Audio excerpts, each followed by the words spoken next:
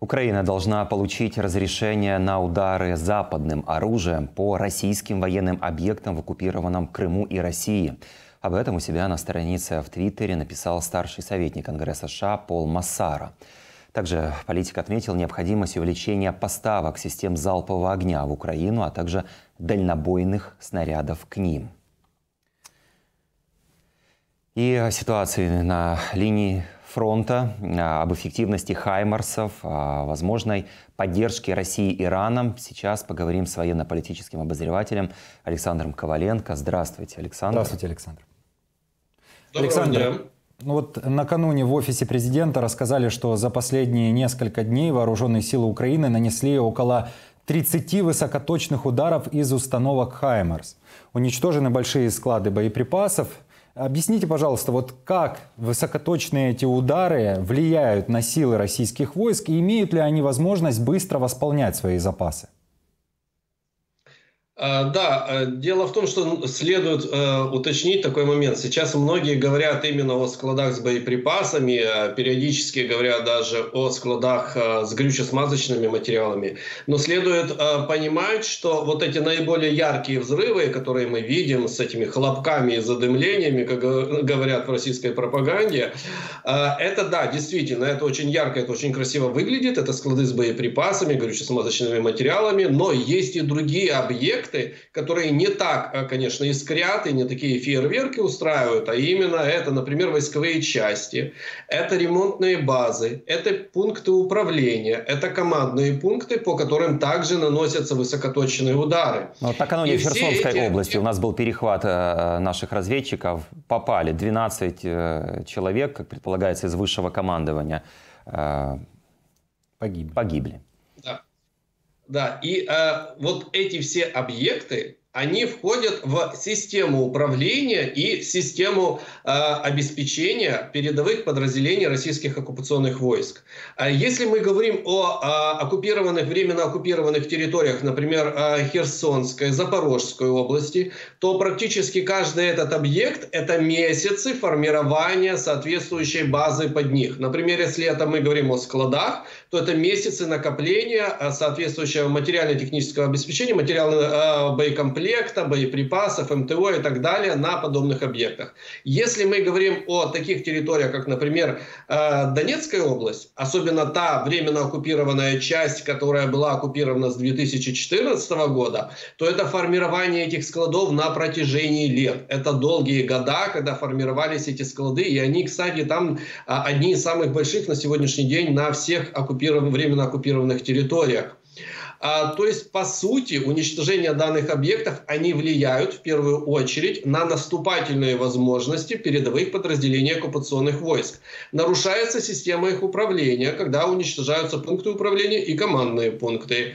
А нарушается их снабжение. Они сейчас используют в основном тактику огневого вала. Огневой вал – это тотальное уничтожение на несколько э, километров вперед э, именно огневым поражением из артиллерии э, квадратных километров буквально обширных территорий, для того, чтобы их эм, освобождать, скажем так, э, для э, последующего наступления оккупационных подразделений. Сейчас мы уже можем отмечать сбой в этом огневом вале, в этом постоянном огневом подавлении э, оборонных позиций вооруженных сил Украины со стороны оккупантов. У них возникают паузы, у них возникают вот эти вот задержки между массовыми обстрелами. И это только первый этап. В дальнейшем, по мере Э, опять-таки давления, продолжающегося давления, на, огневого давления на эти объекты, мы увидим, когда уже э, оккупационные подразделения, они не смогут осуществлять полноценные наступательные действия и перейдут фактически к оборонным.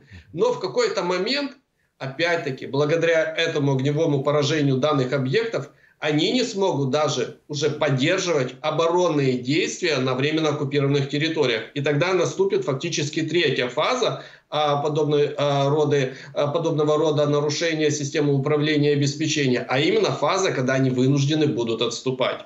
Александр, а можно понять, вот если эта была территория оккупирована с 2014 года, вы сказали, что на этой территории накопление складов продолжалось на протяжении всех этих лет, э, полномасштабному вторжению уже 4,5 месяца. Сколько вот за этот короткий период они могли вообще, в принципе, организовать этих складов по временно оккупированным территориям и э, как долго им и ввести следующие боеприпасы с территории России?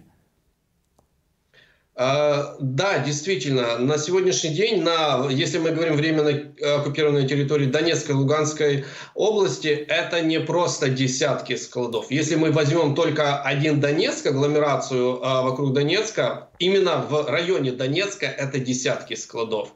А, целиком на сегодняшний день оккупированные территории это сотни подобного рода объектов. А, что с боеприпасами, что с а, запчастями для техники, что с горюче-смазочными материалами. То есть вся та номенклатура, которая принимает непосредственное, а, скажем так, участие в обеспечении передовых подразделений.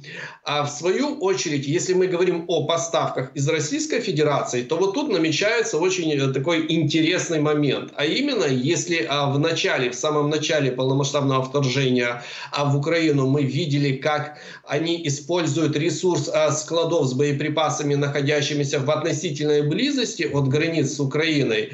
Ну, например, это Южный военный округ, это Центральный военный округ, это Западный военный округ. Вот именно потенциал этих складов использовался в первую очередь. То сейчас, на пятый месяц уже а, войны, мы видим, как они начинают а, свозить боеприпасы, ну, например, из Восточного военного округа. В частности, из района Уссурийска, что фактически в 10 тысячах километров от границы с Украиной они грузят эшелоны а массой 350-400 тонн боеприпасов. Ну, это на самом деле даже, я, это даже не на 24 часа огневого вала этого потенциала хватит для того, чтобы обеспечить огневой вал э, на протяжении суток. Это даже меньше, чем суток э, бое, э, боезапас. Но они везут за 10 тысяч километров аж из, из Уссурийска вот такую вот массу боеприпасов. Это неделя где-то в пути. Да, э, да, э, нет, не неделя, это, я вам сейчас скажу, это примерно где-то 4 недели, это до месяца пути с учетом этого логистического кошмара, который присутствует в России. Например, э, из Мурманска, из такого села, как Алакурти, они полностью вывезли войсковую часть 80-ю МСБР, они полторы недели ее вывозили, они вывезли ее вместе с техникой, больше 100 единиц они вывозили вместе с боеприпасами, это то есть 1900 километров, они полторы недели их а, везли вот из этого района полторы к границе с Харьковской областью. Угу. Но то, что горят сейчас успешно, э, горят э, склады э, российской техники, логистические цепочки нарушаются, бьет очень точно наша армия по командным пунктам. И напомню, накануне мы говорили о очень точном попадании по командному пункту Херсонской области. По предварительным данным, 12 человек высшего офицерского состава оккупантов погибли. Работают хаймарсы. Работают хаймарсы Слава богу, они э, и дошли уже. И не только, да. Но ожидается еще 4 такие системы. То есть в общей сложности 13 э, систем э, будет у нас. Вот такое количество, насколько оно улучшит эффективность разгрома российских оккупантов. А, вы знаете, я всегда говорю, чем больше такого вооружения, тем лучше. А опять-таки лучше только когда его еще больше. А, да, 4 единицы они могут э, дополнительно разгрузить нагрузку, оказываемую сейчас на эти э, реактивные системы залпового огня, которые мы используем.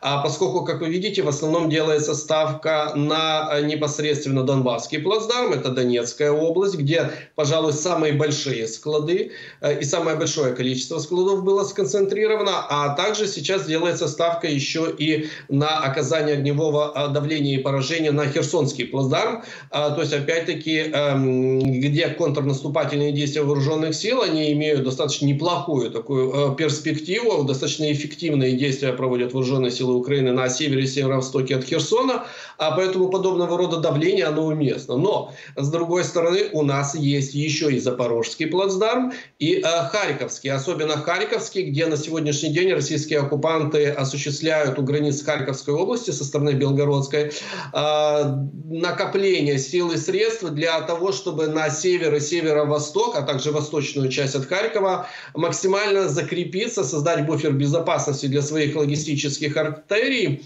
И, на мой взгляд, точное распределение вот именно этих установок РЗО по плацдармам позволит уже более-менее, но а, условно, скажем так, это, это исключительно условно, но оказывать по а, широкому фронту огневое поражение по объектам Да, а, но эти плацдармы находятся на, в Белгородской области, на территории России. И вот в связи с этим я хочу озвучить мысль, которая, которую озвучил вслух уже, потому что до этого многие размышляли о такой вероятности, но как-то вслух об этом никто не говорил. Так вот, советник правительственной комиссии США по безопасности и сотрудничеству в Европе Пол Массара сказал, что Украине нужно разрешить наносить удары по военным объектам в России, Беларуси и оккупированном Крыму.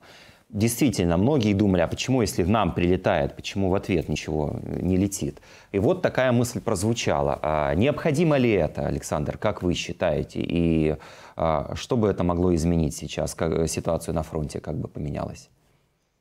Э, да, безусловно. В принципе, я с самого начала полномасштабного вторжения в Украину являлся именно сторонником нанесения ударов по э, военной инфраструктуре э, российской армии на территории Российской Федерации. Но я прекрасно понимал, почему принято такое решение именно на руководством нашей страны, а почему оно настолько толерантно, сдержанно и демократично относится к границам соседнего государства, пускай военного преступника и фактически агрессора. Но, на мой взгляд, в принципе, нам никакое решение и не нужно, э, разрешение и не нужно, а поскольку это решение, опять-таки, политического характера, э, и у нас всегда были возможности нанесения этих ударов, даже не используя э, западные типы вооружений, поскольку, например, если мы говорим о объектах военной инфраструктуры, инфраструктуры российской армии у границ с Украиной со стороны России – то они как раз попадают, э, многие из них попадают в зону действия тех видов вооружений, которые у нас были до момента поставок наших международных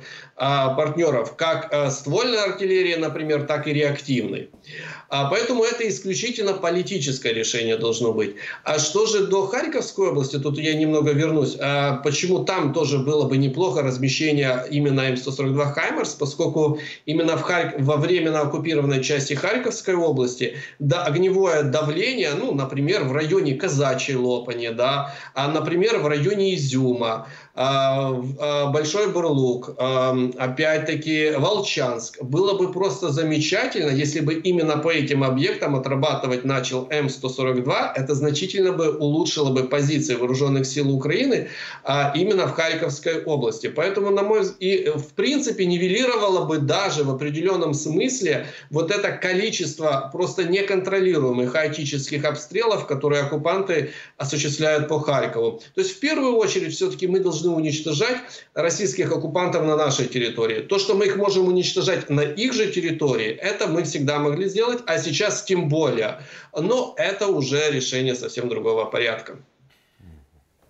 Александр, вот вы вспомнили Харьков. Буквально накануне глава Харьковской областной военной администрации Алексей Нюгубов объяснил, почему ПВО системы неэффективны в Харькове. Он сказал, что город обстреливают из систем РСЗО. А уж системы ПВО не в состоянии их все перебить. И э, вы видите э, в этом направлении какой вот э, сценарий развития? Нашим э, украинским военным необходимо оттеснить в данном э, направлении силы противника, правильно? А, совершенно верно. А, на сегодняшний день Харьков находится под постоянным обстрелом со стороны а, российских оккупантов. Ну, фактически, в какой-то степени точно так же, как и Николаев и любой другой прифронтовой город, поскольку у российских оккупантов есть возможность нанесения ударов посредством ствольной реактивной артиллерии. Большая часть ударов наносится именно данными средствами поражения.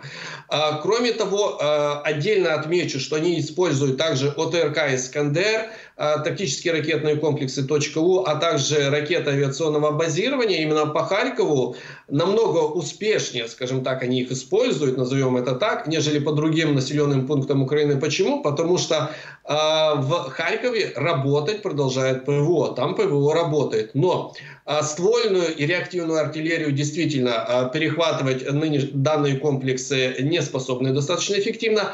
А если идет речь о баллистических ракетах и ракетах авиационного базирования, то расстояние между местом пуска и поражением объекта настолько незначительное, небольшое, что ПВО просто не успевает э, вовремя среагировать.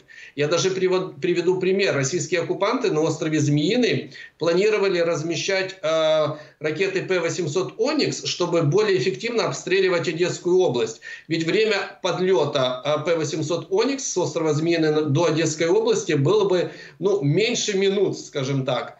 А в то время как э, с территории временно оккупированного э, Крыма это более э, продолжительный период времени, и ПВО успевает отреагировать. Так вот, в Харькове на большинство обстрелов попросту ПВО не успевает отреагировать из-за столь Александр, небольших расстояний. а как тогда защитить небо Харькова? Будет ли эффективная израильская система «Железный купол» для этого города или нет? нет? Нет, железный купол нет. А железный купол не будет эффективен, а, поскольку а, фактически его интеграция в нашу систему ПВО может занять года. Они, например, Соединенные Штаты, когда закупали железный купол тоже с целью интеграции его в свою ПРО, для расширения возможности комплексов малой и средней дальности поражения, они не смогли его интегрировать а, несмотря на то, что системы между собой очень а, схожи. А в данном контексте, если мы говорим о защите а, воздушного пространства именно над Харьковом, то было бы а, более разумно там размещать такие комплексы, как на САМС. Они а, более гибкие в интеграции. Ну, например, даже если мы берем Соединенные Штаты Америки, то они более гибко интегрированы, эти э, зенитно-ракетные комплексы, в их э, систему ПРО, американскую. Э, поэтому в Украине именно интеграция на САМС не была бы максимально эффективным. Но помимо этого нужно еще задуматься о том, чтобы обезопасить этот э, район от поражения ствольно-реактивной артиллерии. Для этого именно необходимо э, возвращать наши границы в Харьковской области, то есть вытеснять российских оккупантов к северу и северо-востоку от э, Харькова. И, кстати, М142 в этом вопросе очень даже бы помогли, потому что незначительно бы оказали бы огневое давление по позициям российских оккупантов, что ускорило бы наши контрнаступательные действия именно в этом э, регионе. Александр, уже 20 июля состоится четвертая встреча контактной группы по Украине «Рамштайн» в онлайн-формате. Что вы можете сказать об эффективности трех предыдущих встреч? Э, в принципе, э, для, э, с учетом тех, тех условий, в которых проходят данного рода встречи, ну, скажем так, в какой-то степени даже экстремально срочных, достаточно эффективный показатель, поскольку страны, которые являются основными союзниками Украины, они достаточно эффективно продолжают нам оказывать поддержку. Мы расширяем пул стран, которые нас э, поддерживают благодаря именно таким встречам, и благодаря этому расширению э, начинают появляться некие другие возможности по оказанию поддержки. Логистические, политические, финансовые, а какие угодно, военно-технические, просто технические, высокотехнологические. Любые, любые элементы поддержки, которые оказываются и появляются а, на горизонте, они очень выгодны Украине. А, поэтому э, от следующей встречи я ожидаю, во-первых, конечно же, расширения пула международной поддержки, то есть количество стран, которые нас поддерживают.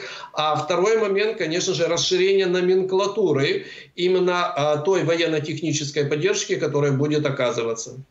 И вот, э, судя по всему Россия сейчас тоже ищет поддержки. Появилось сообщение о том, что Белый дом говорит о том, что в планах Ирана передать России беспилотники. И сегодня же появляется сообщение о том, что Путин собирается э, отправляться в Иран. Вот как вы считаете, о чем говорят эти два события?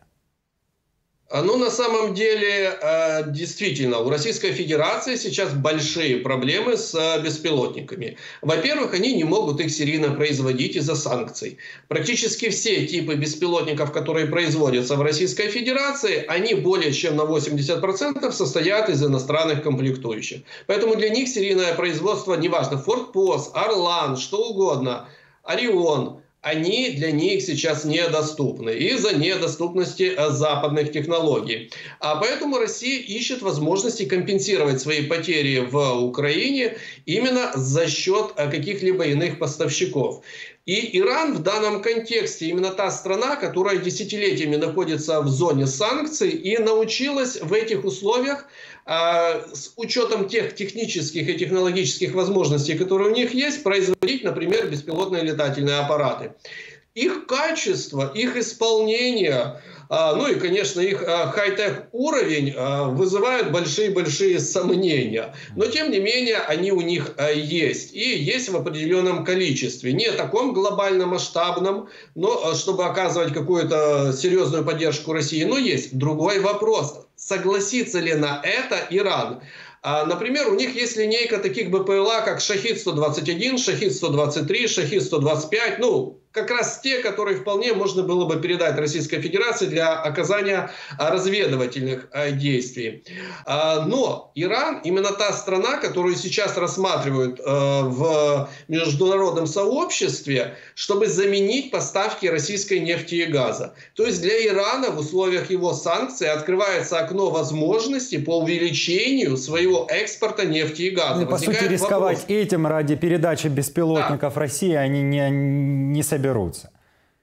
Станут ли, станут ли они рисковать ради какой-то сомнительной прибыли от продажи 50, 100, 150 беспилотных летательных аппаратов России, в то время как значительно большую прибыль они смогут получить э, как в ближней, так и э, как в краткосрочной, так и среднесрочной перспективе от повышения экспорта нефти и газа. Ну, я, конечно, сомневаюсь в этом. Александр, спасибо вам большое. Александр Коваленко, военно-политический обозреватель, был в эфире Фридома.